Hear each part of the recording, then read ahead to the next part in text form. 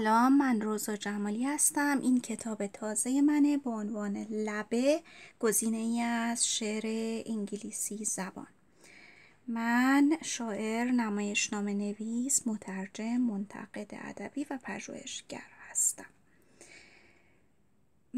کتابی که در دست داریم گزیده ای از شاعرانی که من از انگلستان ایرلند و آمریکا انتخاب کردم. دوره خاصی مد نظرم نبوده در این کتاب و بیشتر به خود شعرها توجه کردم که شعرهایی رو انتخاب کنم که از همه ترجمه پذیرتر باشن. خب دلم می‌خواد شعری از این کتاب رو برای شما بخونم. شعری از تتیوز شعری که انتخاب می‌کنم از تتیوز شاعر انگلیسی. که همسر سیلویا پلات هم بوده. دو افسانه. یک سیاهی بی چشم بود سیاهی در زبان جاری است سیاهی خود قلب بود. جگر آدمی سیاه بود و ششها سیاهند که در نور چیزی را به درون نمی کشد. سیاهی اندرونی کوره است سیاهی همان ماهیچه است.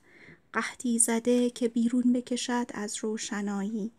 سیاهی عصبها سیاهی مغز است. با نگاهی که به مقبره ها خیره است. سیاهی همان روح است لکنتی که تمامی ندارد. گریه است که نمی‌تواند خود را ادا کند و یا به بیان در بیاید. متورم است و این خود خورشید درون ادا نمی شود سیاهی سر برافراشته سمور دریایی. سیاهی سنگ و صخره است در... که در کفها فرو می رود سیاهی صفراست و خونی که تخت را پوشانده. سیاهی کره زمین است. یک بازیر زمین فرو رفته. تخم مرغی سیاه و ماه خورشید هوا را متغیر می سازند که کلاقی را از تخم میرون بیاورند. رنگ کمانی سیاه که در توهی خم شده و بر توهی خم شده اما در احتزاز است. امیدوارم که موفق بشید که این کتاب رو تهیه کنید.